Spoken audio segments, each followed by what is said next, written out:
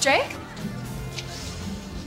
Why do you smell like a dirty diaper? Because I actually changed one. Hi, Drake. We can't wait till you guys play tonight. Really? Totally, your band rocks.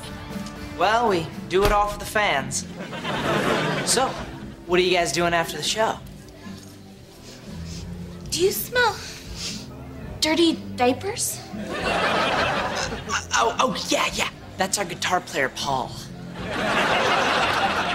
He has issues. Ew.